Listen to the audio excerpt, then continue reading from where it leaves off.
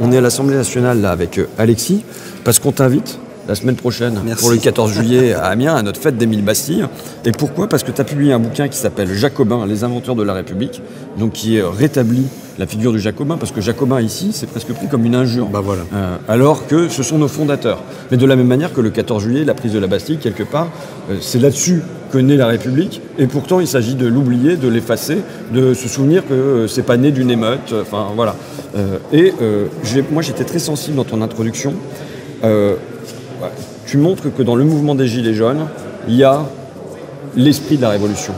C'est tout de suite l'imaginaire des sans-culottes, l'imaginaire de la Bastille, voire l'imaginaire de la guillotine aussi, qui est très vite ravivé, et que, au fond, même si plus de deux siècles sont passés, c'est ça qui reste euh, profondément ancré dans l'imaginaire français. Ouais, je crois que c'est un truc qu'on partage tous les deux, c'est que ne faut pas que le, passé nous écrase sur le présent, mais, mais il est là, quoi. Je veux dire, euh, euh, et sitôt qu'il y a des grands mouvements populaires, on retrouve, on retrouve des choses. Alors ces gilets jaunes, c'est marrant. Tu sais que la Carmagnole, le chant, la Carmagnole, la Carmagnole, c'est un gilet, c'est un gilet qui se portait et le grand chant révolutionnaire qu'on connaît porte déjà le nom d'un gilet. Moi, ça m'a amusé que finalement, gilet tu jaune, gilet jaune, Carmagnole, il y a Ou des les sans culottes. voilà, et les sans culottes aussi, c'est un vêtement et le gilet jaune qui, était là. Bon. Et, comme tu dis, euh, quand ça a commencé, souviens-toi, il y avait les bonnets phrygiens, il y avait des drapeaux bleu, blanc, rouge, euh, les gens chantaient, ils écrivaient au feutre sur les, sur les gilets. Euh, d'ailleurs, il y avait eu un super boulot, tu te souviens, plein de dos, ça s'appelait des gens qui, qui, compilaient tout ça, c'était merveilleux. Moi, j'ai lu tout ça avec attention parce qu'il y avait plein de choses autour de 1789, etc. etc. Et puis même, ils n'ont pas fini le travail, on va venir le continuer. Voilà, voilà, voilà, avec même une forme. Le roi, avec Macron, qui était, il y avait tout. La figure du roi. La figure du roi, même la, femme d'Emmanuel Macron Macron avait pris un peu Marie-Antoinette. voilà, tu vois. Non mais voilà, certains disent s'en sont offusqués, mais ça montre qu'il y a comme ça, on a un peuple qui, a été éduqué dans l'idée que quand même notre souveraineté, on l'a obtenue par une grande euh, révolution populaire. et ça c'est plutôt intéressant. Moi je trouve que pour fonder un pays, il vaut mieux le fonder sur un grand mouvement populaire révolutionnaire que sur des idées parfois plus euh, religieuses, culturelles, etc. Bon alors l'idée, tu as tout dit, c'est-à-dire que moi pourquoi j'ai parlé de Jacobin C'est pas que je me dis aujourd'hui encore que Jacobin, mais surtout j'observe comme toi qu'on se fait régulièrement insulter dès qu'on dit bah, il faudrait l'égalité des droits sur l'ensemble du territoire. Comment ça se fait Dès qu'on parle d'égalité, et on est des égalitaristes, voilà, tu vois. Et quand on met du isme, ça veut dire qu'on est des méchants. Et on est des jacobins qui immédiatement se voient transformés en l'idée que ce serait les brutes, ceux qui tranchent les têtes, ceux qui sont des brutes épaisses et tout. Alors qu'en vérité, c'est un lieu de discussion, de confrontation hein, parce qu'ils sont pas mal engueulés entre eux. On connaît les histoires d'Anton, Robespierre, etc. C'est injuste, mais pas seulement. Il y a, a d'autres personnages. L'un des personnages que moi j'ai adoré dans ton bouquin, c'est Bélé, le premier député noir de la Première République. Ouais. Alors, Jean-Baptiste Bellé, il est né euh, sans doute au Sénégal, euh, sans doute entraîné euh, avec sa mère, pris comme esclave, et il part en bateau, emporté comme esclave, il va se retrouver à Saint-Domingue. Saint-Domingue, aujourd'hui, c'est devenu Haïti, c'était la perle du colonialisme euh, et un des joyaux de la commande de France. C'était une puissance, c'était le sucre à l'époque, on n'a pas encore inventé la, betterave que tu connais chez toi. Donc il faut faire pousser ce sucre, ça assure une fortune, c'est une puissance économique, politique. Il y a énormément de colons qui sont présents dans les débats politiques durant la Révolution française qui s'assurent à ce que l'esclavage soit maintenu parce qu'il y aura un enjeu considérable. Et puis les Anglais sont pas loin, donc il y a un enjeu à défendre Saint-Domingue. Alors pourquoi on parle de ça? C'est parce que c'est intéressant, 1789, les hommes naissent et demeurent libres et égaux en droit, n'importe qui se dit, bah, normalement, ça entraîne l'abolition de l'esclavage. En fait, c'est pas vrai. Ils se disent ça, et puis après, il y a toute une série de reculs, de non-application qui amènent à ce que concrètement, dans les colonies, bah, l'esclavage continue. Il y, a un échange avec Robespierre. Alors oui, alors à cette occasion. Euh, on lui dit, mais attendez, si jamais on abolit l'esclavage, c'est euh, la mort de notre économie. Et il dit, moi je préfère la mort de notre économie plutôt que la mort d'un principe. Périssent nos colonies plutôt que les principes. Parce que les gars disent, mais allez, on va. Bon. Donc ça, c'est déjà, il y a Robespierre qui, qui est dans le coup. C'est pas le seul. Hein. Il y a des beaux personnages, l'abbé Grégoire. Il y a un groupe qui s'appelle la Société des Amis des Noirs qui déjà, avec beaucoup de contradictions, mais quand même souhaite qu'il y ait l'abolition de l'esclavage. Bref, je te la fais courte. En 1791, ils arrivent quand même à ce compromis que les métis, on appelait ça à l'époque les libres de couleur, puissent au moins avoir l'égalité des droits avec les blancs, avec les maîtres blancs. C'est souvent des fils de maîtres, ils ont couché avec une femme esclave, etc. Et ils ont eu des enfants.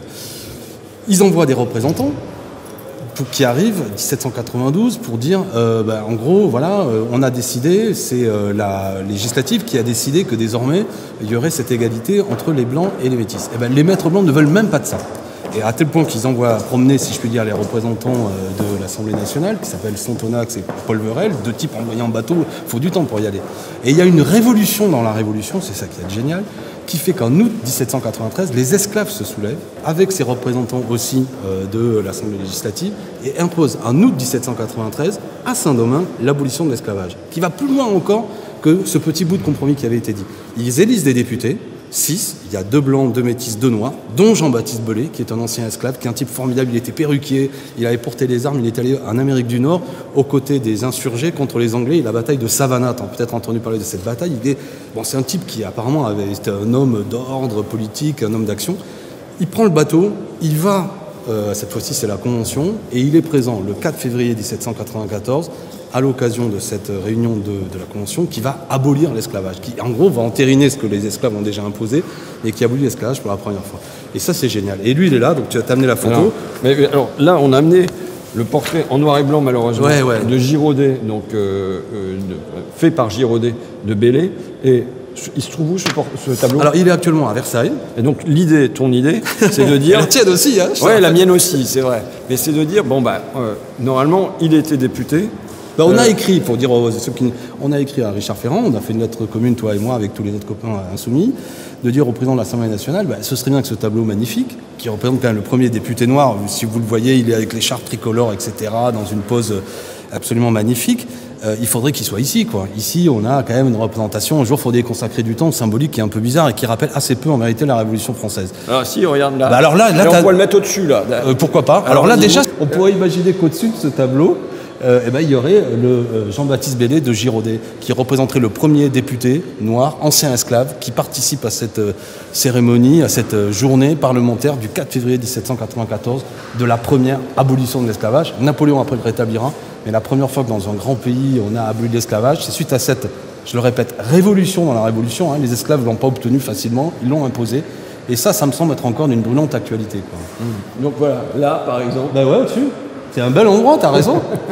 C'est pas difficile à trouver, hein, faire la déco de l'Assemblée. tu vois. Alors on a écrit le président de l'Assemblée comment elle s'appelle qui est celle qui fait la déco là, à la télé Damido. À Damido. Il faudrait inviter Valérie Damido à l'Assemblée pour savoir où est-ce qu'elle nous mettrait euh, le portrait euh, de, raison, de ouais. Bellay, tu vois. Ouais, mais ça, moi j'aime bien. Alors je sais que c'est un tableau qui est supposé montrer comment le peuple est atroce et tout ça, mais c'est un tableau que j'aime bien quand même parce que la Révolution française, c'est pas seulement l'Assemblée nationale avec les gens qui prennent, euh, font les- leurs petites lois parfaites et tout ça, c'est aussi le surgissement du peuple sur la scène de l'histoire et aussi Oui, mais- jusque-là, ils n'arrivent pas à le contenir, ils restent pas à la porte. Parce qu'ici, tu as, Ouais, la gaffe que- police, tu as les vigiles, ils ont, quand on, quand froisse un papier, quand on froisse un papier bonbon euh, dans, dans, dans, dans les, dans les tribunes tout là-haut, euh, c'est comme si on avait produit une émeute populaire. Quoi. T'as Donc, raison. euh, Mais toi, tu l'aimes bien ce tableau. Ouais. Moi, je le soupçonne quand même. L'idée, c'est les Girondins qui sont assaillis par le peuple. Et tu sais que celui qui met les revolvers sous la gorge, c'est Drouet. hein. C'est le Drouet euh, de l'époque, celui qui Oui, avait arrêté. Louis XVI. Et là, l'ange Bidet, c'est un Girondin, c'est un Breton qui est un peu,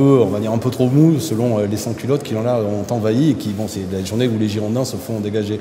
Ça donne une image un peu de. Moi, je trouve que le peuple, on s'en méfie un peu à travers ce tableau. C'est un peu l'ambiance du décor à l'Assemblée nationale. hein. Mais t'as raison, c'est quand même un beau tableau. Et puis, avec au-dessus Jean-Baptiste Belay, ça va de la gueule. Donc euh, on pourrait le repeindre avec des gilets jaunes.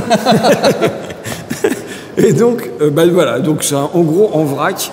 Ce qu'on va faire, euh, un petit temps d'histoire comme ça, euh, la je semaine prochaine. Il n'y aura pas que ça. Le 14 juillet, donc à Camon, la gare c'est Longo. Euh, si vous venez en train depuis Paris, vous arrêtez à Longo et puis on fera des allers-retours pour venir vous chercher.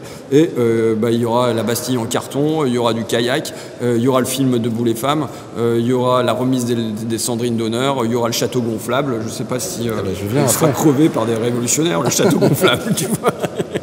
D'ailleurs, il l'avait détruit parce que dedans il y avait de la poudre, je sais pas ce qu'il y a là dedans, mais j'ai vu ça sur ta vidéo. Il y aura de la brioche. Ah ouais, là, ça, ça vaut le coup. Voilà. Bon, écoute. et Bon, on puis- se retrouve et le puis il y aura- 14 et puis juillet. Il y aura peut-être Valérie Damido. Bah, si tu veux. Pourquoi je viendrais pas après tout Donc à la semaine prochaine. Ciao, François. À la semaine Merci. prochaine. Merci. Ciao.